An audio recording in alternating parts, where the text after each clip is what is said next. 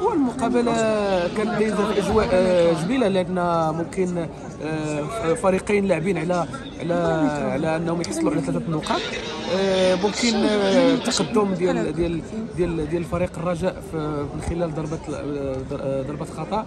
هي اللي خلات أنه يفوز بالمقابله ولكن رغم ذلك كانت مقابلة مشوقة كانوا فيها واحد الندية. والحمد لله كانت تسودها روح الرياضية. ممكن تي اللي تنتأسف عليه هو الغياب ديال الجمهور اللي تيخليه واحد النكهه لل- لل- للديربي نتمنى إن شاء الله في المستقبل تكون المقابلة أحسن من هذه المقابلة. دابا ما عنديش شي شي شي information على الحالة ديالو. ولكن نتمنى الشفاء العاجل إن شاء الله للاعب لا تنسوا الاشتراك في قناة الأيام 24 وتفعيل خاصية الجرس ليصلكم كل جديد.